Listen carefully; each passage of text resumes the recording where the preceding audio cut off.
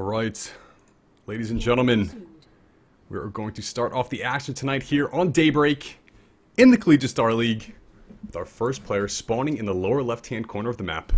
He is in the pink trunks from the team ROOT, but tonight we'll be representing his college. It is none other than Caliber.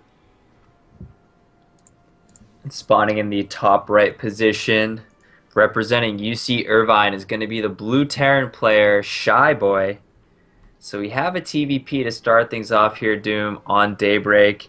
And I mean, bringing out the big guns right away. Caliber, obviously, um, one of University of Washington's best players. So I'm expecting some pretty high level play here. Me too. Uh, we saw him play in the King of the Hill last week, and he showed some pretty exciting games. Was taken out, I believe, though, or he may have actually played in the, one of the last games of the night. Um, but he's definitely an entertaining player for sure. And yeah, I'm just, uh, you know, I'm curious what he's going to do in the PVT matchup. I know a lot of players have favored going for like early mothership core harassment, a couple of stalkers, pressuring the ramp, especially on daybreak, is something you can definitely get away with. But yeah. it's going to be up to Shy Boy pretty much to dictate the pace, try to get as much damage done as possible.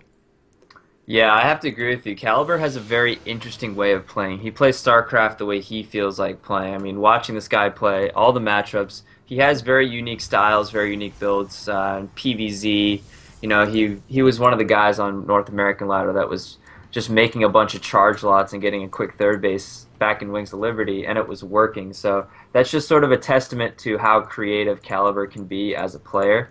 Um, and if you'll notice, he's already gone 10 gateway. He already has a gas. He's going to get his cybernetics core off of just this first pylon right here. So this is a very uh, you know, very quick gateway in cyber. I'm assuming Absolutely. it's going to be for a very quick uh, mothership core, like you were kind of mentioning. Maybe he wants to get um, that pressure to Shy Boy's front door ASAP. I wouldn't be shocked if he does that because we've actually seen you know Terran players rushing up for for Widow Mines very very quickly in the matchup, and if you're able to get a drop off in the Protoss player's main base like undisrupted, essentially without having the Protoss pressure you at all, you can wreak havoc on the middle yeah. line of the Protoss player. But going for that early Mothership Core kind of throws the Terran player off, really puts him in, in the position to react to what, what you're going for as the Protoss player in the matchup. But it is going to be a Reaper opening from Shy Boy. And I've been seeing this crop up, uh, you know, a, a, lot recently in Heart of the Swarm.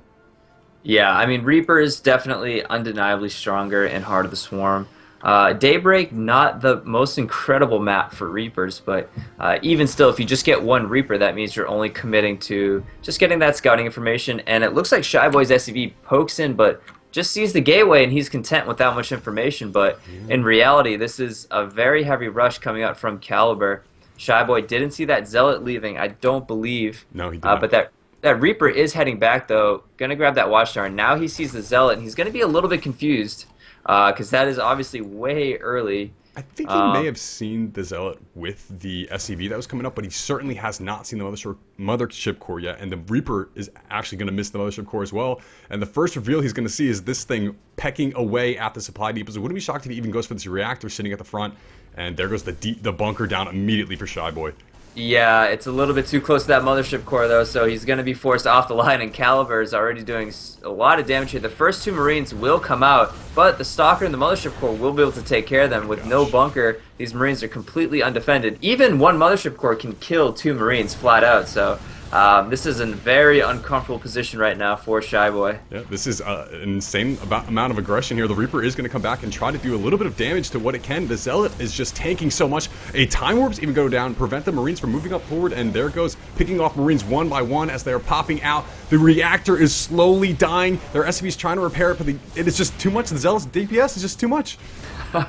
and Caliber is just going to bust down that reactor, man, and I don't really know if Shy Boy has many options. He's trying to get a good surround up on these SCVs, and that's definitely going to be helpful. He's also making a Widow Mine, which will um, definitely help in getting rid of these stalkers. One stalker is just no, it's gonna it's gonna squeeze away. There it goes. And uh, Shy Boy though down to seven supply. That's it's really not ideal. I, I mean, he's like. making the Widow Mine, but there we go. GG, well played. And Caliber taking a quick 1-0 lead here for his team.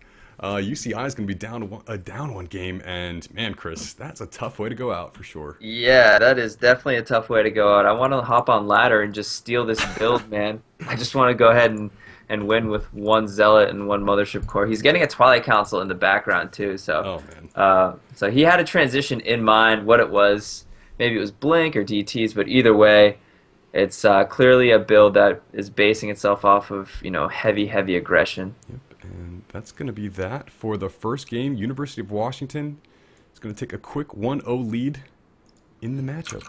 That's right. Just a quick shout out to our sponsors, NCIX, Raid Call, and MSI. Guys, come join us in Raid Call. We are in channel 1111. And uh, of course, the MSI giveaway. We are giving away a laptop, so check out our website for those details. And uh, yeah, we'll be right back with game number two between UC Irvine and University of Washington.